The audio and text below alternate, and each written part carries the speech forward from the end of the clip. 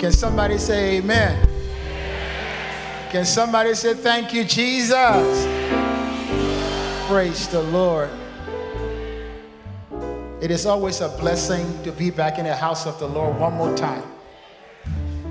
To be back in God's house to serve Him. Uh, some people didn't make it from last week, but you are here this morning. God is faithful. God is great. That you can be in His presence one more time. Can we just raise up our hand and tell Him thank you? Praise the Lord. Amen. Praise the Lord. The psalmist said, I will bless the Lord at all times. His praises will continually be in my mouth. I will make my boast in the Lord. God is good. It's always a blessing to be here at Ebenezer, a great church. Praise the Lord. I take my hat over to my good friend, Dr. Tabla. I really salute you. You're doing a great work, Pastor Chris. God continue to bless you all. You are doing a great work here in Minnesota and around the world. I'm so happy that I know you. Praise the Lord. God bless you. Uh, to the leadership of this church, the deacons, trustees, you know who you are. God bless you all. You all are doing a great work here. Uh, you're doing a great work here in Minnesota and around the world. And God will not forget that. God will continue to bless you all. Praise the Lord. Amen. Uh, I'm so happy to be here, uh, you know, to see what you all are doing. Praise the Lord. We had a good conference, amen, on Saturday. Praise the Lord, amen. Uh, we were here to see men worshiping God, you know, dancing and, and praising God. Uh, I mean, they were rejoicing in heaven, amen, to see men worshiping the Lord. I take my hat off to you guys. Happy Father's Day, men. Let's give it up for all the men. Let's give it up for them. Praise the Lord. Happy Father's Day, amen. Amen. Amen. Thank you, Jesus. I'm here with my beautiful wife. Praise the Lord. Amen. The most beautiful woman in the world. Uh, we've been married. We've been married 37 years. She don't even look her age. 37 years, December 17. We've been together for 37 years, but the boyfriend, the girlfriend, I would say 42 years. Praise the Lord. Amen. But I bless God for her. Amen. She just graduated with a doctorate degree, a DNP, Doctor of Nurse Practitioner. Very proud of her. Praise the Lord. Amen. Amen. Amen. In ministry, you can't do ministry by yourself you don't have a good partner. She's been a good partner for 37 years. Praise the Lord. I'm so blessed to be here. I'm just happy. The service, the song they just sung for us, grateful. I don't know about you, but I'm grateful. I'm grateful. I don't know about you, but where God has took me from, I'm grateful. Praise the Lord. I'm grateful. We don't deserve it. We don't deserve to be here. Somebody passed away, but God kept you. Not because of your righteousness, not because of your beauty, because of God's mercy that He kept you. I'm grateful. I'm grateful. Yes. Praise the Lord. On this Father's Day, we, we bless God for all the men on this Father's Day. We want to talk to you. The scripture was read for us from the book of Second Kings, chapter 20. Uh, and a lot of you are familiar with this story about Hezekiah. Praise the Lord. I want to talk to you today the power of a father's prayer. I mean, our wives, women can pray. But when a man stands in the in the in the way, when a man stands in the way and pray and, and talk to God, God listen, praise the Lord. So the theme is the power of a father's prayer. Let's look to God in prayer. Dear God, we bless you. We thank you so much for this opportunity. We thank you because you are a good God. And Father, as we speak, I pray that you use your servant for your glory. If somebody don't know you, will come to know you. I pray if a father is struggling, Lord, that you will help that father, someone here, that it will come closer to you. Use your servant for your glory. It is in Jesus' name we pray. Amen. The text that was read for us in the book of Second Kings is about a man called Hezekiah, praise the Lord. And you know the story, it goes like this that the Bible says that Hezekiah got sick. I don't know about you, but uh, once upon a time I, I got really sick that I ended up in a hospital. And I was there for about three days. And when you're sick, a lot of things goes through your mind because you don't know if you'll make it. Do I have a witness here? Anybody been sick? Praise the Lord. So you know what I'm talking about. The Bible said that Hezekiah got sick. And he's struggling with his sickness. And the Bible said the man of God, Isaiah, walked into his house. And, and, and you, you would think that Isaiah would come with good news that we would, you would be healed. He said, No. He said, No, this sickness that you have will kill you. You will die. Like your pastor coming to your house and said, God told me to tell you this sickness, you're coming out of it, that will kill you. You will be devastated. The Bible said Hezekiah uh, was devastated. And, and but the, the, the, man of God says something, and, and I want to stop a little bit and, and talk about it. The man of God told Hezekiah, said, You will die. This sickness will kill you, but you need to put your house in order. Let's just stop right here for a minute. He said, I, I, want you to put your house in order because you will die. And, and I come to say, as fathers and as men, God is saying to us that we need to put our house in order. Sometimes we look at this text and we, we think is that, well, the man will die that he needs to be a, change his life, be a Christian. No, Hezekiah was a man of God. When you read chapter 18 and, and come to 20, Hezekiah knew God. He worshiped God, and, and you will tell from his prayer. But he said, put his house in order. And this conference we just had on Saturday talks about a lot of things about putting a house in order. We talked about men should love their wives. We talk about men should be dependable. We talk about men should have be a role model for their family, for their children. We, we talked about that. And we talked about getting insurance, praise the Lord. When we talk about putting your house in order, put your affairs in order, praise the Lord. Your finances. Some of us, some of us our finances are terrible as fathers. Put it in order. Get your credit right. Get life insurance for your family. There is something happening to you, your children will be taken care of. When I talk about life insurance at my church, the typical African man would say this I should get life insurance. So when I die, then the woman will marry a new man and they will enjoy my money. That thinking need to stop. Put your house in order, get life insurance, whatever you can get, that somebody will be taking care of. Praise the Lord. Put your marriages in order. The marriages might not be good, things might be shaky between you and mama. Put it in order. I don't know what, I know what they told a man of God to put his house in order, but you know what you need to put in order. I might not know, but you know what you need to put in order. Set it right, get it straight your school, whatever it is, set it in order. God is saying, I want you to make it right. When he told Hezekiah to put his house in order, being Hezekiah and the man of God that he was, he said, No, I got to go to God. I, I know you told me that this sickness will kill me, but I need to go to God in prayer. The Bible said, when you look at chapter 18 of Second Kings and chapter 20, Hezekiah was 39 years old. He was 39 years old. In other words, if he was going to die, it was going to be a premature death. A 39 year old don't need to, don't need to die.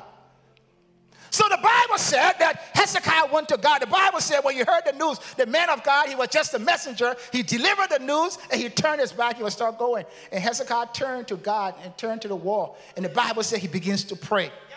He began to talk to God. You listen to his prayer. He said, I, I want to read what he said. And Hezekiah turned his face to the wall and he prayed to the Lord. He said, Lord, I want you to remember me. I don't know about you, but I want God to always remember me.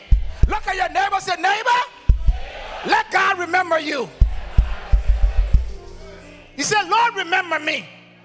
You know the man on the cross, the man, the thief on the cross when he died, he told, he told, he told you, he said, when you go into your when you go into paradise, remember me. I don't know about you, but I want God to remember me all of the time. He said, Lord, I want you to remember me. He said, Lord, and this, I don't want, Hezekiah wasn't trying to, he wasn't trying to be cocky or boastful. He said, Lord, now I have walked before you faithfully. Okay, let me tell you what Hezekiah was doing. When you go to court, a professional lawyer, a good lawyer, will make his case to the judge. They will have jury, the judge would be there, and he would make a case. What Hezekiah was doing, he was making his case to God.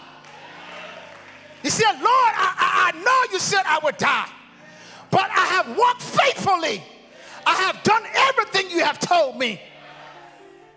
What is your case?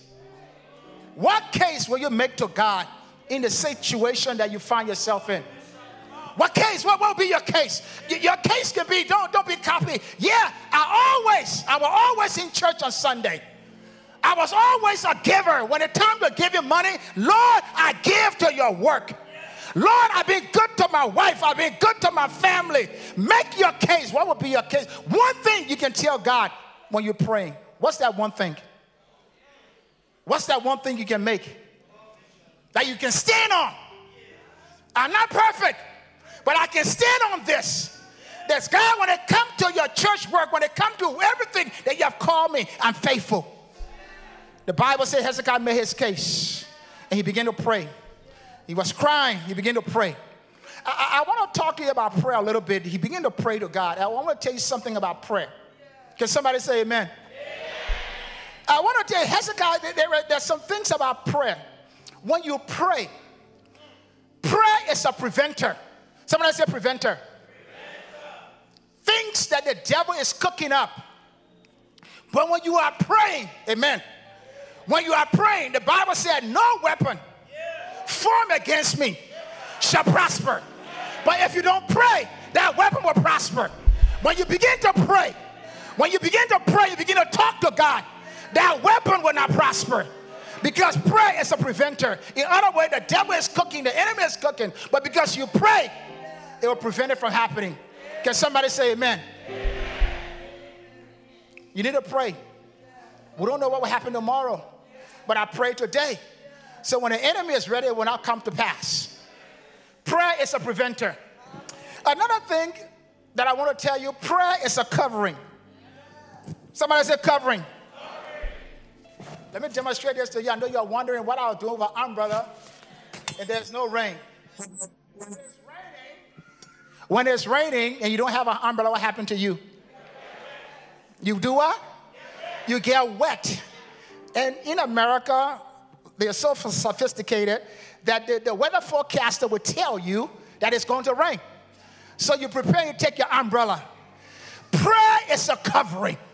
Prayer will cover you. That when it begins to rain, because you have been prayed up, you have talked to God, you are covered. Somebody said, Prayer is my covering. Fathers, you need to cover your children, cover your family. I don't know about you, but I live in Texas, right? I live in Texas. A couple of years ago, there was a mass shooting at a school in Texas. Mass shooting, some lunatic came into the school and shot up the school, killed the students. Cover your children before they leave the house in the morning. You will pray and you will cover them with your prayer. It might be your child in that school. That's your child, your only child in that school. But because you have prayed for that school, when the enemy come, he will pass over because you pray for your child. Because you pray for your child. That school is covered. Prayer is a covering. Cover. We travel before you get on that plane. Pray and ask God. Cover yourself with prayer.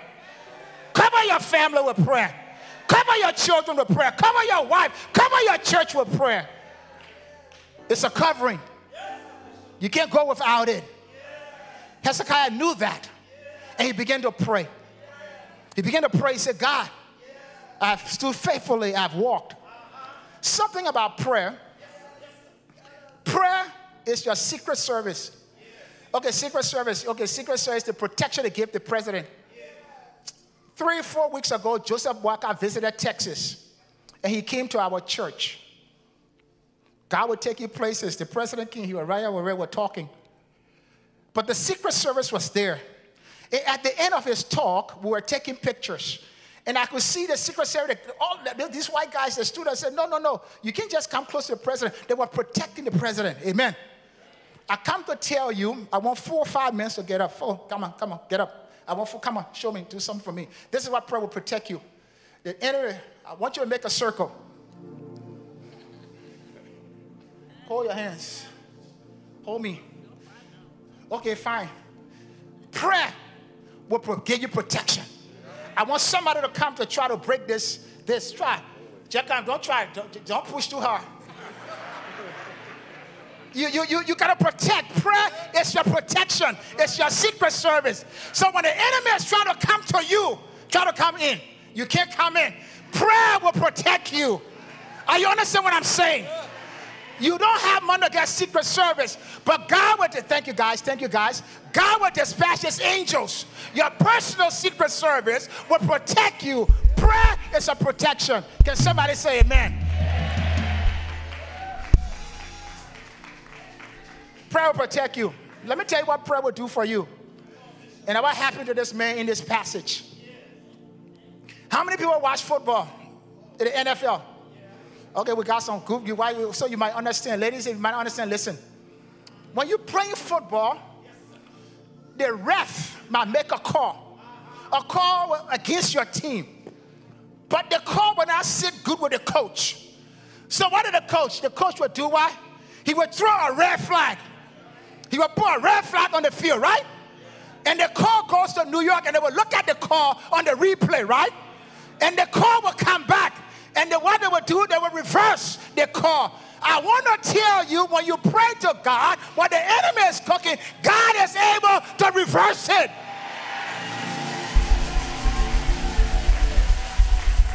God can reverse it.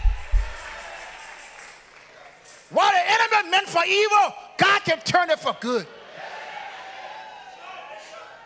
The call was reversed because the coach made a bad, the ref made a bad call. I come to tell somebody that when you pray, God can reverse your situation. It can be reversed. It can be changed. That's not your final destiny. That sickness will not kill you. That situation will not put you in the place that, that the people will not. But I want to tell you, that's why David said this. And I love it because David was a man of prayer. He said, Yeah, though I walk, yeah, though I walk to the valley of the shadow of death, I will fear no evil. Your rod and your staff, they come from me. He said, I will prepare a table before you in the presence of my enemy. Prayer will do that for you. So the Bible said, Hezekiah began to pray. He said, God, I have walked faithfully. So the men of God now, the men of God walking into the third, the other coat, there are about six positions. And the Bible said, he said, no, no, no, no. Hezekiah, just pray. Going to reverse the call. Going to turn it around for him. I want you to turn around and go back to Hezekiah and tell him that he will live, he will not die.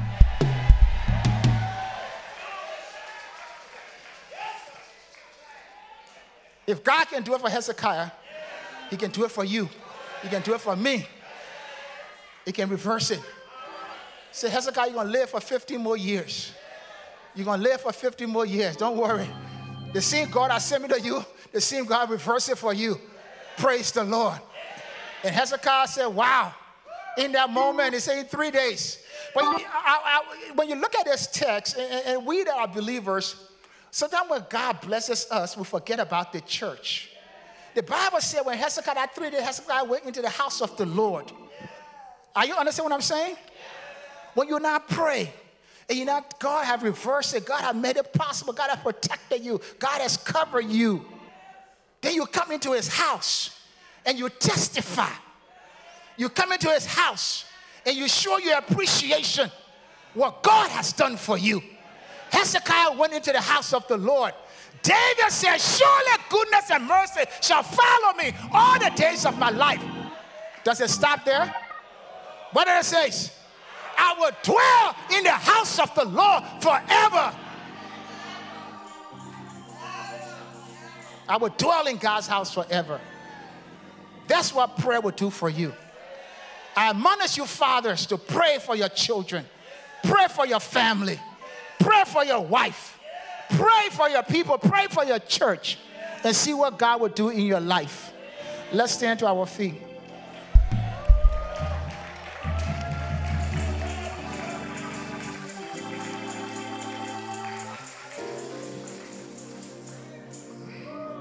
As we stand here today, we're in church. Everybody don't know the Lord. Sometimes you can be in church, but the church not in you. You can be in the church, but the church, the church not in you. So you here, in the marketplace, in the store, we don't know if you're even a believer. If you're here today and you don't know Jesus Christ, you can accept Him just one time. One time. Not twice. You can backslide, but you can rededicate your life to the Lord. But if you don't know Jesus Christ as Lord and Savior, now is the time to come. We've got ministers, pastors here that will meet you. If you hear this Father's Day Sunday and you don't know the Lord, you can come and somebody will lead you to the Lord. Amen. Praise the Lord. Give God a hand clap of praise. If everybody here is a believer, praise the Lord. Amen. We, we pray for the fathers. You may be seated. If you're a father, I want you to remain standing. If you're a father, remain standing. I know the stage. If you're a father, just remain standing. Just fathers. If you're a father, a father mean you did something and a woman got pregnant and she delivered. You're father. Amen? I want to pray for you. Like I said in the first service, being a father is not easy. It's not easy on our jobs, in the marketplace, in this world. Being a father and being a black man in America is not an easy job. I pray for you that God will protect you, that God will give you the desire of your heart, that whatever you do, you will be successful. Amen. In the name of Jesus that you'll be their father, you'll be their role model for your children. There is no other role model out there but you for your children. Your children are watching you, they're watching you. I will pray for you that you'll be their father that God wants you to be. God is not asking for perfection. God just wants you to love Him, love your family, love your wife, Love your children. Be there for them. Be dependable. They can count on you. Give them praises. Praise your children. When they come over A or B or C, tell them you appreciate them. Praise the Lord. Let's pray for these men. If you can stretch your if those that are saying, just stretch your hands towards these men, all of these men, just stretch your hands towards them. Dear God, we stand here today. You said it is not good for man to be alone. You said that when you made Adam. Father, I thank you for all of these men that are here, these fathers. I lift them up to you. These fathers, especially the men of Ebenezer, the men that come to church here, that worship here, those that are visiting, fathers, I lift them up to you. Father, I pray for protection. I pray for their success. I pray for their prosperity. Father, I pray, Lord, that you will bless them. Oh God, we say thank you. I thank you for these men. I lift them up to you. It is in Jesus' name we pray. Amen. God bless you.